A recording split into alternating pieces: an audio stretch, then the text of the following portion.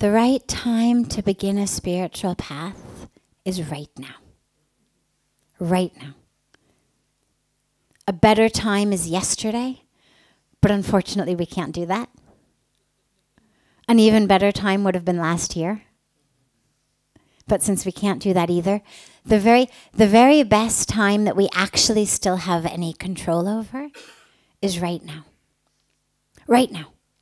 There is absolutely nothing in our lives that cannot or should not coexist with our spiritual path.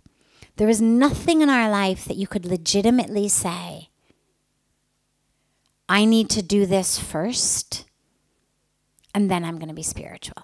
Unless, unless what you wanted to do first was just live a completely mindless, you know, hedonistic life, and you said, wait, let me just, you know, eat as much as I can eat, drink as much as I can drink, have sex with as many people as I can, absolutely just be as reckless and mindless as I possibly can be.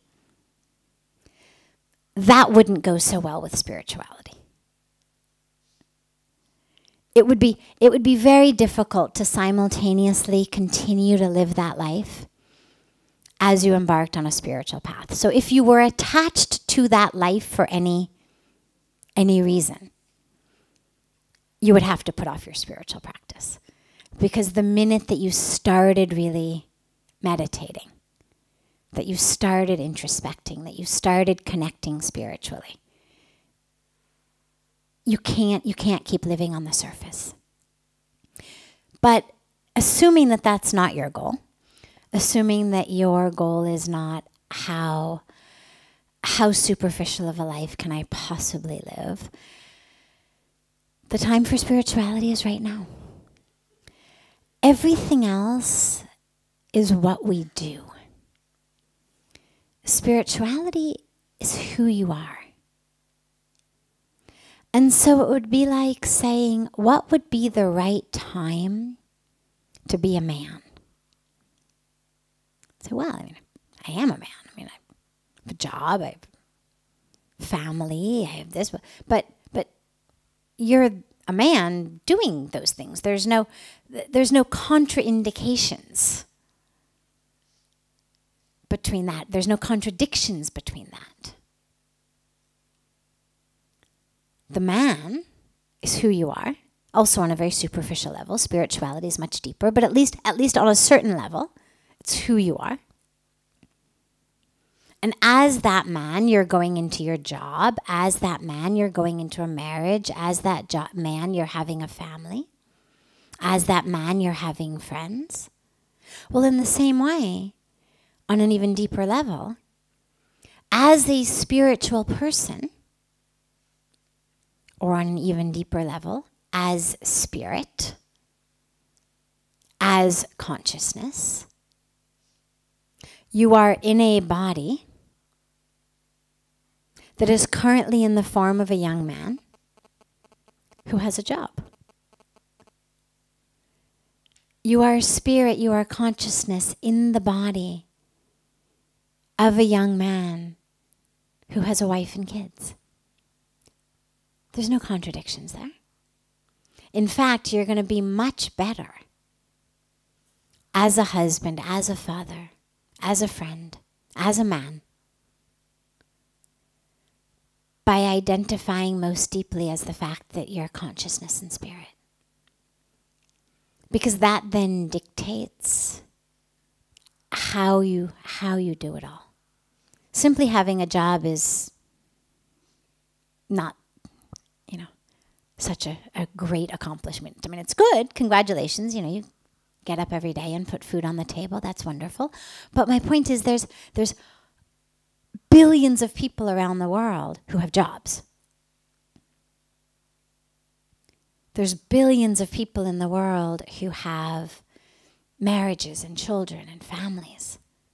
We all have families. what makes you unique, what makes you something other than just everything else that's going on, is connecting to spirit, connecting to consciousness. That's what makes you not just the actor merged with the mask who thinks you are man, who thinks you are your job or that you are your relationships. Connected to spirit will help you as you move through, as you do all of this. Know how to do it. And then the, the side beautiful bonus and benefit is you'll pass it on to your children. You'll pass it on to those who are with you. And you'll actually, you'll actually be a part of bringing about a change in the world because what we need are more and more people connected to spirituality. If everybody waits until they're, you know, old and retired and they've done everything, and okay, well, so I've done it all, now I guess I'll be spiritual. You know, I mean, good for them. At least they've got, you know, they've, they've figured it out still at some point before the deathbed. But wouldn't it be so much nicer to have that all along? You know, it's like my favorite psychology experiment that I always talk about of the students who were given this task of watching the basketball game. And the, the experiment was the researchers took all of these subjects and they said, okay, your job is you're going to watch this six minute basketball game. And there's a red team and a white team. And you're going to count their baskets, how many baskets each team made. End of the six minute game, they were each given a questionnaire. How many baskets did the red team make? They all answered correctly. How many baskets did the white team make? They all answered correctly. Third question which was really the part of the, the point of the experiment. Third question said, Did you notice anything else? And more than 50% of them said no. And now it turns out that halfway through this basketball game, into the center of the court, an enormous gorilla, I mean, a person dressed as an enormous gorilla, came onto the middle of the basketball court and started dancing occupying the full camera frame that was videoing the basketball game. For 30 seconds, this gorilla danced. And more than half the students missed it. Now, you could say they weren't paying attention, but clearly they were paying attention because they all counted the number of baskets properly. They hadn't blinked, they hadn't sneezed, they hadn't looked away, they hadn't had a nap because otherwise they would have miscounted baskets. They got all the baskets, missed the gorilla. And the reason they missed it was, and this was what the study was looking at, it wasn't what they to were told to look for. They had been given very clear instructions.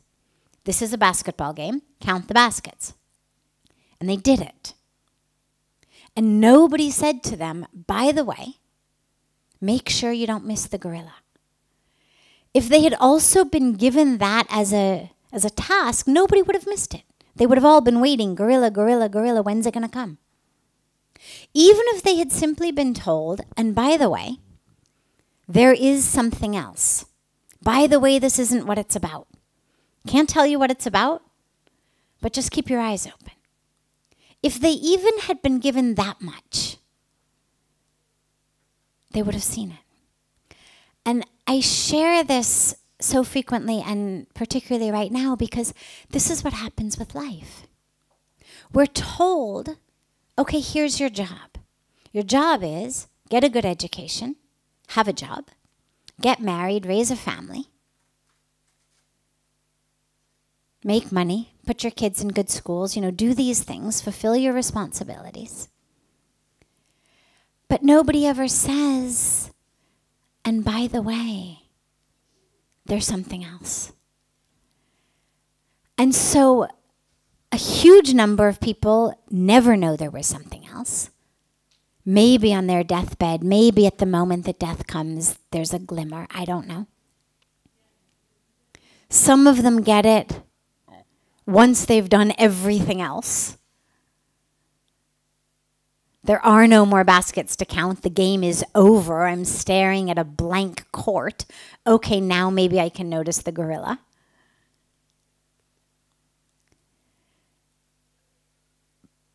But to ask this early in the game, by the way, is there something else I should be looking for? That's really special. And that's that's ultimately what the point is. So this is this is why the right moment is now. Keep your eyes open. Unlike the gorilla, it's not a one-time thing for 30 seconds and then it goes away. It's there in every moment.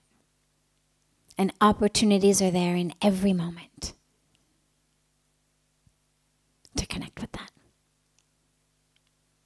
So you don't want to miss the point.